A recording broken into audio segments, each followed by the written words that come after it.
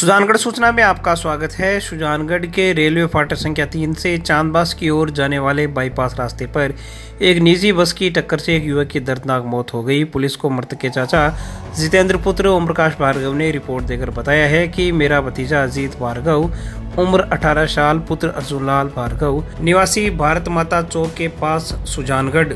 Bypass road पर दोपहर में अपने दोस्त का इंतज़ार कर रहा था, तभी बस स्टैंड की ओर से एक निजी बस के चालक ने गफलत व लापरवाही से बस को चलाकर अजीत को टक्कर मार दी, जिससे गंभीर रूप से घायल अवस्था में राजकीय बगड़िया अस्पताल पहुँचाया गया, जहाँ चिकित्सकों ने उसे मृत घोषित कर दिया।